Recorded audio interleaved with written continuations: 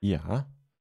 Ähm, Und du rufst auch zum Thema an? hat, dass ich gar keine Angst mehr habe, dass ich ähm, ja akzeptiert habe, was auf mich zukommt und ähm, Ah, okay. ähm, ich habe eine Krebsdiagnose gekriegt. Ja. Äh, mit der Diagnose bleibt mir nicht viel Zeit. Ich bin Mama von zwei kleinen Kindern. Ja. Ähm, Wann hast du ja, die Diagnose bekommen und was heißt, dir bleibt nicht viel Zeit? Ähm, mir wurde gesagt, ich soll das Weihnachtsfest genießen, wenn ich es genießen kann, Oh, ähm, weil es das letzte sein wird, was ich mit meinen Kindern feiern werde können. das ist krass. Ja. Ähm, ja, es hat mich ein bisschen aus der Bahn geworfen und natürlich waren da auch Ängste dabei, gar keine Mhm. Frage. Mhm. Aber seit ich dann quasi, ich kann nicht in ein Loch fallen, ich kann mich nicht gehen lassen. Wie gesagt, ich habe zwei kleine Kinder und die halten mich Mhm. auch. Und seit ich das so für mich wirklich akzeptiert habe, Mhm. geht es mir viel besser. Weil ich das Leben einfach mit anderen Augen sehe. Ich genieße Ja. Momente, die nicht selbst, also für mich ist gar nichts mehr selbstverständlich. Mhm. Für mich ist alles ein Geschenk. Ich sehe alles mit anderen Augen. Ich sehe alles auch teilweise mit den Augen meiner Kinder. Mhm. Und das macht mir keine Angst mehr. Hast du denn mit deinen Kindern drüber gesprochen? Ja. Weil die Also die lässt du ja dann vier Jahre zurück. alt. Ja, ja. Ja. Die sind sechs und vier Jahre alt. Die sind noch sehr klein. Ich habe denen das Mhm. nicht bis ins Detail erzählt, ähm, weil das verstehen sie einfach auch noch nicht. Mhm. Aber ähm, sie wissen, dass Mama krank ist und sie wissen auch, dass es Mama manchmal nicht gut geht. Mm. Und sie nehmen die, die Zeichen auch ganz anders wahr. Mhm. Mein Sohn erkennt viel früher als ich, wenn, wenn ich eine Phase habe, in der es mir nicht gut geht. Wie so ein Radar. Und Verstehe. ich habe keine Angst. Die größte Angst, die ich hatte, war, ähm, ich verpasse so viel. Mhm. Ähm, ich lasse meine Kinder alleine. Ich werde ähm, meinen Mann alleine lassen mit den beiden Kindern und er weiß doch gar nicht. Und ich habe mir so viele Gedanken gemacht und ähm, dann hatte ich ein schönes Gespräch mit jemandem, der mir sagte, du kannst dich jetzt hinstellen und du kannst betrauern, was du alles verpassen wirst. Oder du kannst dich hinstellen und kannst genießen, was du noch alles genießen kannst. Mhm. Die zwei Optionen hast du. Mhm. Hast du so. jetzt noch irgendetwas vor, was du noch machen möchtest? Ich habe eine Irgendeinen so Wunsch oder sowas? Ja. Ja, natürlich. Ich möchte mir gerne noch ein Tattoo stechen lassen. Also ich habe Mhm. meine beiden Kinder habe ich tätowiert. Ich würde gerne noch meinen Mann dazu machen, natürlich. Ich gehe mit meiner Freundin dieses Jahr noch auf Kreuzfahrt. Mhm. Ich genieße das Leben. Ich genieße es, wo ich es genießen kann. Sehr schön. Wow. Aber das ist halt etwas, ähm, durch den Prozess musste ich sehr lange gehen. Muss man erstmal lernen, ne? Ja, absolut. Mhm. Also ich bin, wie ich das Wie, bekommen habe, ja. ähm, man muss dazu sagen, ich habe ja ähm, schon einmal Krebs gehabt und den besiegt. Mhm. Und ähm, es ist wiedergekommen. Ich bin in Therapie gegangen ähm, und es kam immer mehr. Es hat gestreut und aktuell sind es ähm, multiple Zellen im Gehirn, Mhm. wo man einfach nicht mehr sagen kann, also operativ wird keiner mehr dran gehen. Es ist einfach zu, die Kosten-Nutzen-Rechnung ist einfach, Mhm. ja, rendiert sich nicht. Es ist leider in Deutschland so, wenn, wenn ähm, die, die Aussicht auf Erfolg einfach zu niedrig ist, wird das keiner mehr operieren. Und es ist bei mir so.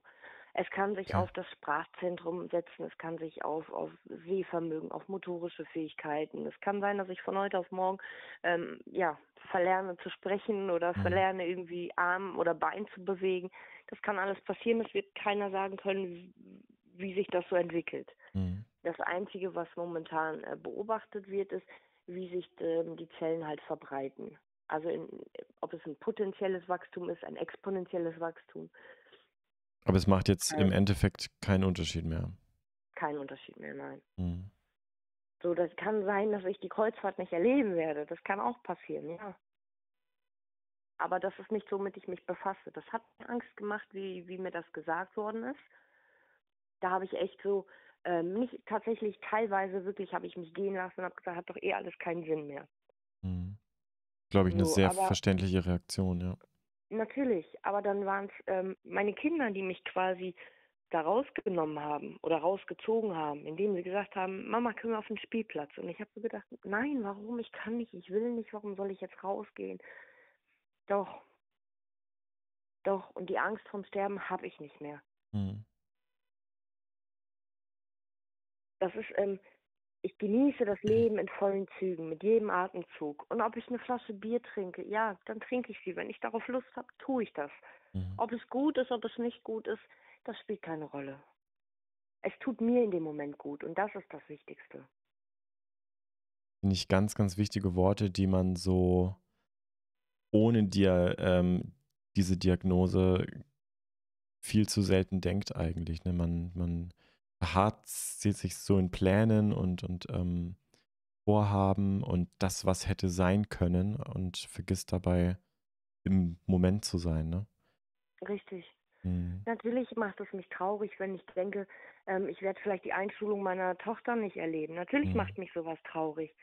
Aber ähm, doch, im Endeffekt erlebe ich sie ja schon nur halt aus einer anderen Perspektive. Zum einen, egal aus welcher das jetzt ist. Mhm. Und zum anderen, dafür genieße ich den Moment, was sie jetzt macht, was sie jetzt lernt. Und all das, was ich meinen Kindern, was ich mir wünsche, dass meine Kinder mitbekommen, die Chance habe ich jetzt, es ihnen mitzugeben. Mhm. Und du wirst ja auch immer positiv ähm, in Erinnerung getragen von deinen Kindern und von deinen, ähm, ja, Das von ist ja den zum Beispiel, Hinterbliebenen. Richtig, das ja das, ähm, meine Freunde oder meine engsten Freunde, die Mhm. gucken mich an und sagen, warum hilfst du mir denn jetzt gerade? Du hast doch selbst Probleme. Mhm. Ich sage, ich helfe dir, weil ich helfen kann und weil ich dann möchte, das habe ich den beiden gesagt, also meine beiden engsten Freunde, habe ich gesagt, ähm, wenn ich irgendwann nicht mehr bin, dann ist mein größter Wunsch, dass ihr meinen Kindern sagt, was ich für ein Mensch gewesen bin, wenn sie sich nicht mehr dran erinnern oder wenn sie mal fragen Mhm. Dann möchte ich, dass sie meinen Kindern sagt, Mama war dies oder Mama hat das gemacht. Oder wie ich das auch immer so schön sage, wenn jemand über mich spricht, dann möchte ich nicht, dass ihr diejenigen seid, die am lautesten äh, schreien, hey, ich weiß, wie sie war, ich kann da, ähm, ich, ich habe sie erlebt, sondern ich möchte, dass ihr diejenigen seid, die euch zurücklehnen und ein Lächeln im Gesicht haben, weil ihr euch an Momente mit mir erinnert. Mhm. So Momente und Zeit, die du mit Leuten verbringst, das ist unbezahlbar. Unbezahlbar. Ja. Wow. Der Körper kann, der Körper kann krank sein, aber der, Mhm. der, du hast ja noch, ja, das ist manchmal musst du auch was für dich selbst, für die Seele, für den Geist tun. Mhm. Absolut. Auf jeden Ja, Fall. meine Einstellung ist, ich, ich gebe nicht auf, auf gar keinen Fall, aber ich nehme an, was, was halt da ist. Mhm. Und seitdem geht es mir viel besser. Das freut mich sehr für dich, dass, ähm, dass du da noch irgendwie Kraft findest, trotzdem.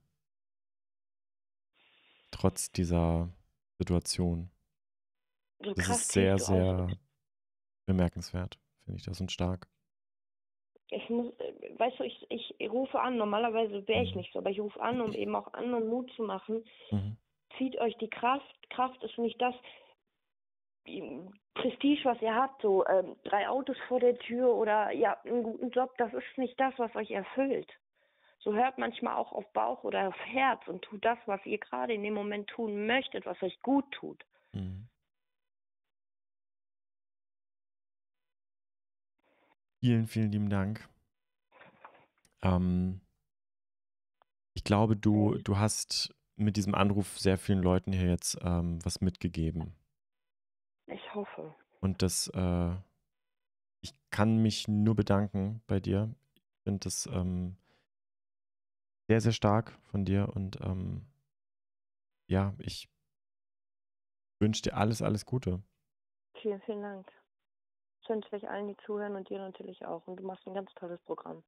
Das hilft vielen, glaub's mir. Vielen Dank. Okay. Ich wünsche euch noch einen schönen Abend. Dir auch. Danke. Tschüss. Tschüss.